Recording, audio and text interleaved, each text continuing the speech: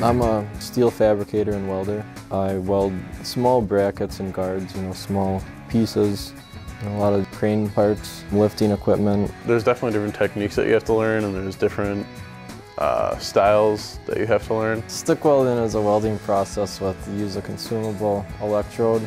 MIG is actually stands for magnesium inert gas, commonly called wire welding. TIG stands for uh, tungsten inert gas and you have a uh, non-consumable tungsten rod that's done for more fine pieces. There's so many jobs out there right now for welders. You can do big equipment, you can do small equipment, you can do very clean work like with stainless steel, working on kitchen equipment. I like working with my hands and welding has just always kind of been one of those things that's always sparked an interest for me. I figured if I can enjoy doing it, I want to do it for the rest of my life.